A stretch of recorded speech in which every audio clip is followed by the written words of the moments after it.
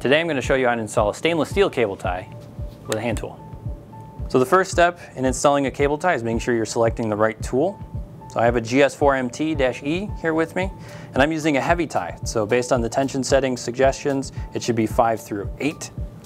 I already have it on the 8th setting, but just in case you needed to change it, you pull down the knob and rotate it clockwise or counterclockwise. Okay. So next, I'm going to thread the tie by hand.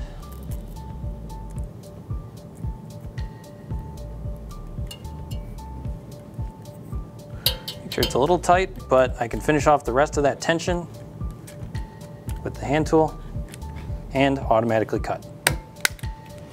And after that cut, the tie is gonna go and retract back into the head a little bit and leave a nice flush cut off.